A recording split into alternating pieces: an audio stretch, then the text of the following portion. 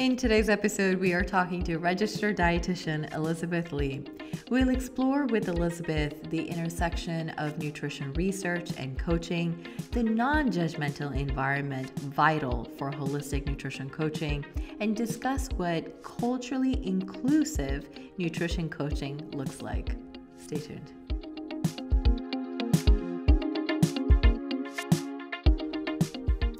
As a registered dietitian, Elizabeth has spent the last decade in various nutrition related roles, ranging from patient counseling to employee well being programming to teaching. She is drawn to the many disciplines that share intersections with food culture, sustainability, politics, and socioeconomics, just to name a few. She started Communal Table Wellness as a way to explore all those intersections in her work with individual coaching and organization consulting. Welcome, Elizabeth. Thanks for having me, Shireen. Such a pleasure having you on. So, first things first, Elizabeth, our first question usually is what led you to this? Can you share a little bit more about what drew you into the field of nutrition and coaching to begin with? Yeah, absolutely. Um, as a whole, nutrition has been something that I didn't quite think about going into until I was well into college. Um, my path was going to go into med school, um, and I was interested in pediatrics. But after organic chemistry, I realized that that was probably a time point that I should rethink my decision. It was not um, my greatest accomplishment in terms of classes. And at the same time, um, around that time, I went to a career panel that was hosted by my university, uh, UC Santa Barbara. A shout out to my alma mater. And uh, there was a dietitian who was there speaking on careers are related to health, but not going into medicine, nursing. And that really piqued my interest. And as far as what about coaching and research that I'm interested in, um, coaching is something that's been part of my career for some time. I started out in community nutrition, working for a Head Start program. And after that, a number of roles I've had um, really involved one on one coaching or group counseling. It was not a career path that I had planned, but I ended up really enjoying it. Um, I really en- enjoyed the interactions with the individuals. So it's something that I kept on pursuing. And as for research, it's a little bit more of a happenstance. I was involved in a course that was headed up by Dr. Christopher Gardner at Stanford, and an opening um, came up in his lab group to help with the research that they were conducting. So I came on board as a health educator for his lab group, and it really piqued my interest because it is still counseling to an extent, but very much so done in a different setting with a different population I haven't worked with before. So that's kind of my path. That's how I uh, landed in my current portfolio of experiences, if you will. That's it's an interesting pathway. You know, you, you talked a little bit about sort of navigating your way through. Uh, you've really gained diverse experiences across teaching, research, counseling, coaching, uh, and then uh, you know all of this being around nutrition. How do these three different avenues sh- sort of shape or even inspire your understanding of nutrition? Yeah, um, I think they really feed into each other.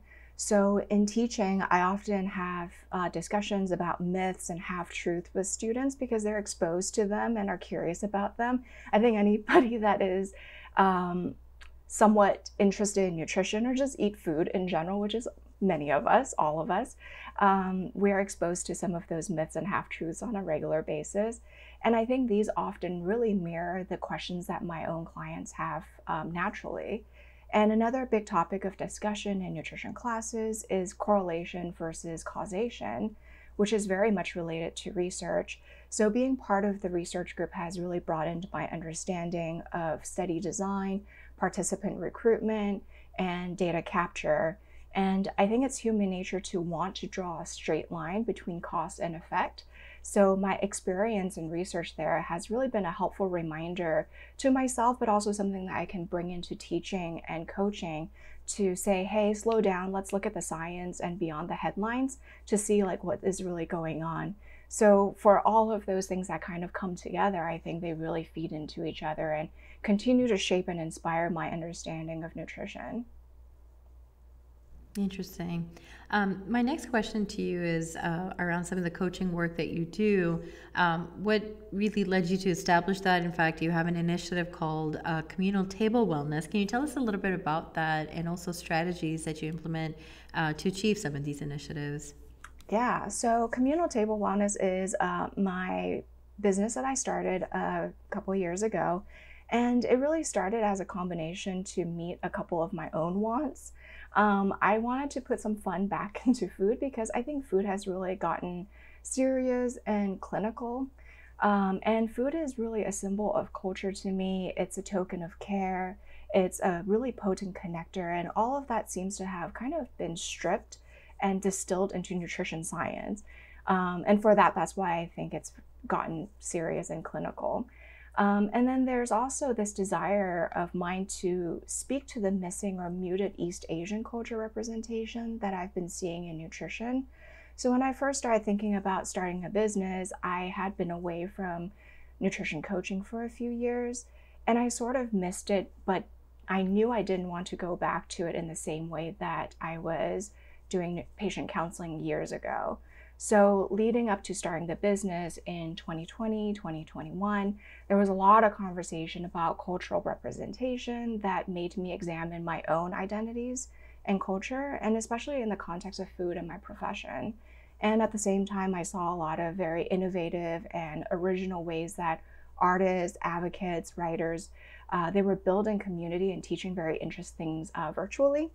So all of it really got me thinking about how I can be creative about nutrition education and coaching, where people will feel included, seen, and walk away with not just useful information, but practical skills.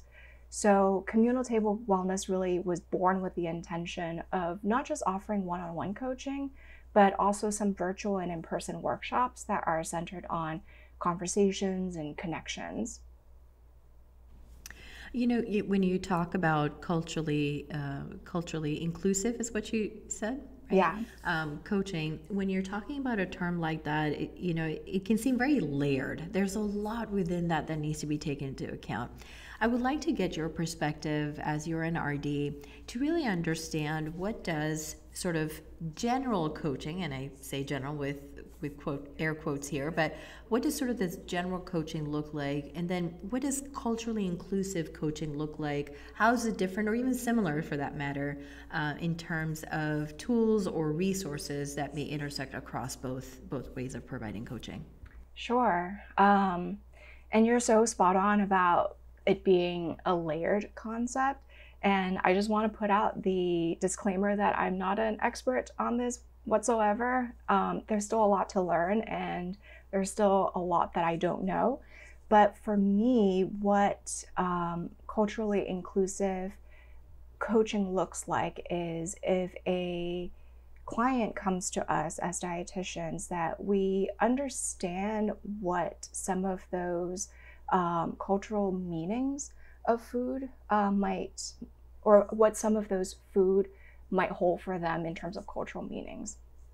Um, so, for example, I've worked with a number of clients who are from the East Asian background, and oftentimes um, there's a conversation about, well, if I don't finish certain things that are put in front of me, that would be very disrespectful.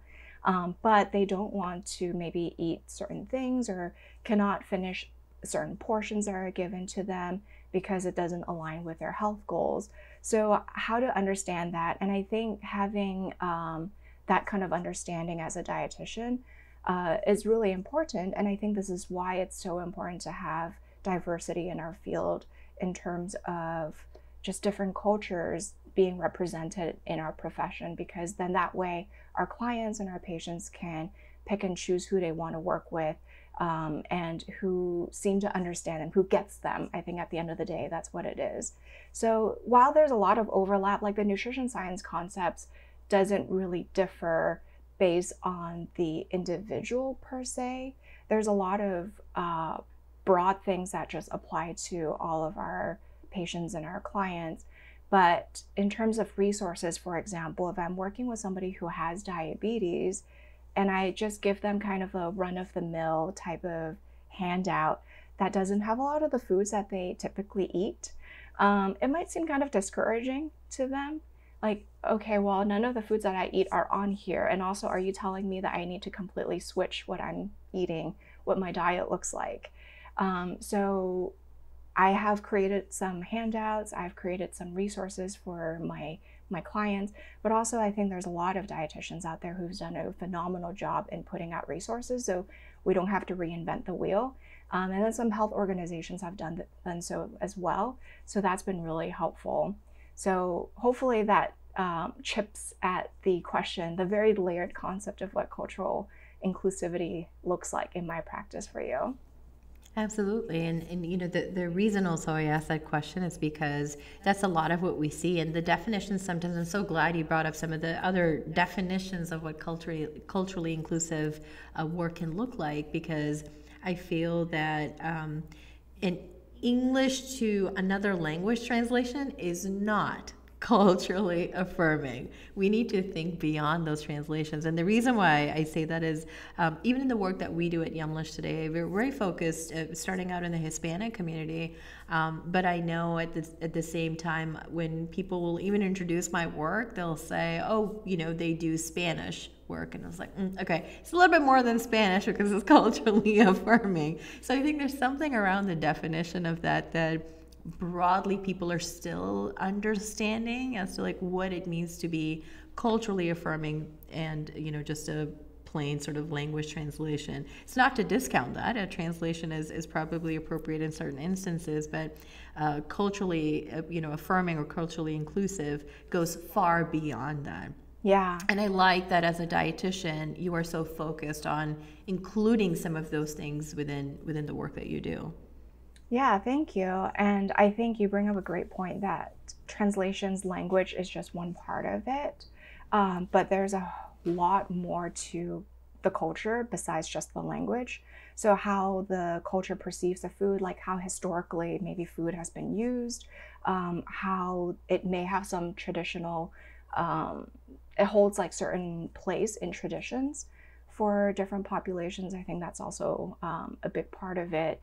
And in my practice, I have tried to um, refer coaching clients to another practitioner at times when I don't feel like I am the best fit for them, whether it is the area of expertise that they're seeking out or the culture is not necessarily a misalignment, but I just feel like there might be somebody else better um, in my network who can speak to them, uh, speak to their culture than I can.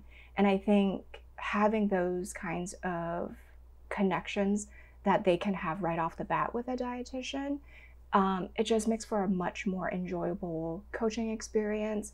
And it's almost like a shortcut. Like they don't have to explain so much. Um, and they don't have to give like an entire Wikipedia page to the context that they're trying to explain, which I think is really beneficial for, for the, the clients. And I think there, there's also the element of uh, sort of. Um, um, uh, I can't think of the term that I'm trying to come up with, but the, uh, uh you know, it, it sort of over helps uh, helps overcome some of that muteness to um, you know what what the individual's needs are. Uh, so I'll, I'll speak to an example. One of the things that we hear through the work we do are things like, "Oh, my doctor told me to stop eating rice or stop eating tortillas." It's like that is that is a big part of someone's culture. I myself am of South Asian descent. Rice and roti and um, those things are a big part of it. And I know that any anyone in my family, if they're ever told to stop eating rice, they will leave the doctor or the dietitian before they leave the rice. So, how do you deal with some of those challenges and really helping people? Uh, one overcome some of those um, recommendations, we will call them, that they receive in a way that is safe and inclusive for them. Yeah. Ah, that resonates so much because as an East Asian, rice is also big in our culture. So um, I would not advocate for my clients who are from those backgrounds to have to ditch the things that mean so much to them, that bring so much enjoyment to them. Um, so for me, I typically start with explaining the nutrition science concept. Like why do why did their doctor for example um, advise them to not eat certain things, uh, rice, roti, tortillas, for example, um, and start from there to give them the information of where that recommendation was coming from. And then from there, because they have the information, there's a, a gained understanding from where the rationale is, they can start to tell me, like, okay, well, if it is really trying to get at reducing my carbohydrate intake, can we work on something else that will achieve something similar in reducing the carb intake without having to take away the things that I enjoy the most? So, that oftentimes is my first place to start with my clients. And then, you know, we can identify the things together in a typical day or in their eating pattern that will fit um, that requirement. And so we can still achieve the same outcome. So, for example, if um, if they're eating a lot of fruits as well, instead of taking away the rice, which may mean a lot to them, um, it's a staple in their household. We can start with moderating the amount of fruit intake that they have to reduce the carbohydrate intake. Or if they're snacking on something that has a lot of added sugars, refined sugars, that would be another place that we can work on instead of taking away the tortilla that may mean so much to to the client. I love that approach. Um, you know, looking at uh, some of the work that you're doing with communal uh, table wellness, uh, we can see that an aspect of this is really that non judgment, right? Why is having this non judgment environment really important when it comes to nutrition? And how do you see it benefiting individuals? Yeah. So it's really important for me, and um, also I think it really empowers my clients. Um, or I try to empower my clients to create that non judgmental environment or approach for themselves for a couple of different reasons. Um, one is because, again, going back to how food holds a lot of different meanings and significance for each one of us. Um, to put myself as an example, I grew up in Hong Kong, and there are these delicious custardy egg tarts. That's one of my favorite, favorite foods.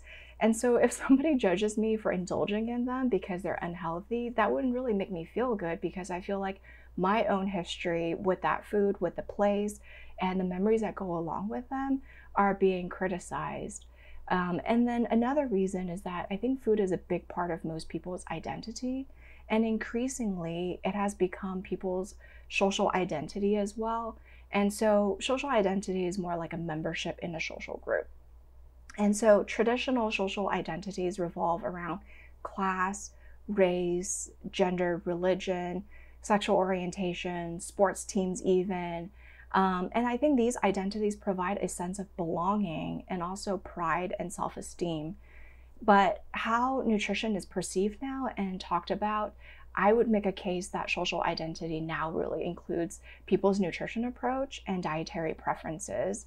And so the way that we eat, the eating pattern that we follow, they aren't just mere habits and practices. Some people identify very strongly with those things and take them on as identities.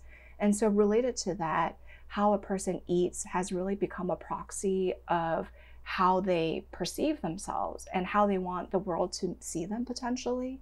So I think we've all witnessed people who follow certain diets and they are very strong about that being a part of their identity and they will go back and forth with people who don't agree with their approach um, using articles and documentaries as their ammo and so I think because social identities are so important for how we make sense of ourselves, our belonging, we, we can feel like we're under attack when somebody disagrees with or judges our identity. And dialogue and progress are really hard to get to when we feel like we're being attacked. So, all that to say, this is why I think a non judgmental approach is really important to me and my clients and the work that we do. Can you speak to a, an example or certain successes or memorable uh, folks that you have worked with um, that have that you've seen the impact of some of this that you're referring to here uh, within their outcomes? Yeah. Um, so I think not quite successful or unsuccessful, but definitely memorable cases. And these examples that I will share really hinge on why context matters. And I think in today's uh, age, like context is a little bit hard to come by. There's a lot of content everywhere. um, but how to make sense of it all really um, is a key to what we do as dietitians. I think even just a key to being human beings. Um, so there was a memorable case where um, I was working with a patient who has been going through uh, bariatric surgery. Um, she had come to our clinic uh, for pre surgery work just to get herself ready for the surgery, but also post operatively, working on monitoring her intake and making sure that she doesn't have any nutrient deficiencies. And I was very fortunate enough to work on a team where there was also a psychologist.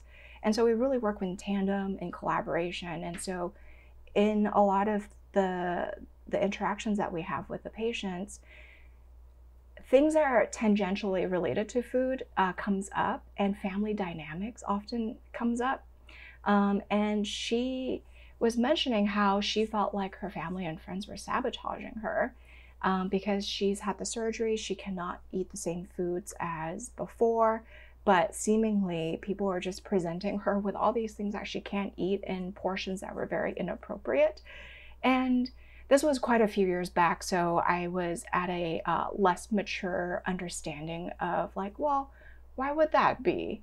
Like, why would somebody who's you know considered a family member or a friend be actively sabotaging somebody's efforts to become healthier?